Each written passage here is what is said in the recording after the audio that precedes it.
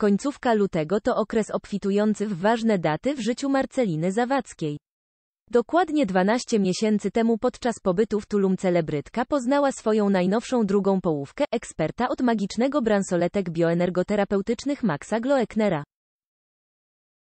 Już w piątek będziemy także obchodzić okrągłą rocznicę głośno komentowanej lekcji oddychania, w ramach której zapłakana Marcelina wyzwalała się z traum, przeżyć i problemów, a tak ważne chwile zasługują przecież na odpowiednie upamiętnienie.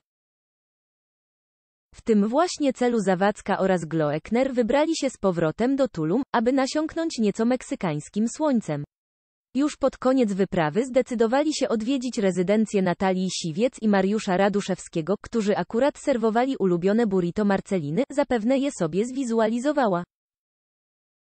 Niestety celebrytka nie zwizualizowała sobie siebie docierającej na lotnisko z kompletem dokumentów. Jak poinformowała w kolejnych nagraniach, tak zagadała się z Raduszewskim, że kompletnie zapomniała o fakcie, że portfel z paszportem położyła na dachu samochodu. Gdy tylko celebrytka zorientowała się, do czego doszło, zawróciła na drodze i zaczęła szukać zguby wzdłuż szosy. Jedyną poszlaką były stare paragony rozwiane na piachu. To znalazłam na podłodze teraz, szukając mojego portfela, komentuje Marcelina, pokazując garstkę białych świstków papieru. Wiecie, co zrobiłam? Przed drogą, zanim pojechałam na lotnisko, położyłam swój portfel na dachu, zagadałam się z Mariuszem i ruszyliśmy. Minęło trochę czasu, jak się zorientowałam, że go nie mam. Wracamy, żeby szukać dokumentów. Znajduję swoje rzeczy koło drogi. To się nie dzieje, jak w jakimś filmie. No więc nie lecę dzisiaj.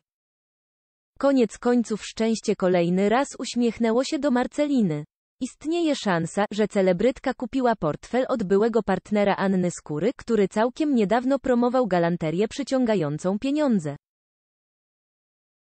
Otóż portfel w sposób magiczny przyciągnął się z powrotem do właścicielki za sprawą serdecznych miejscowych. Na instagramowym profilu celebrytki pojawiła się rzecz jasna dokładna wideorelacja z chwili przekazania znaleziska.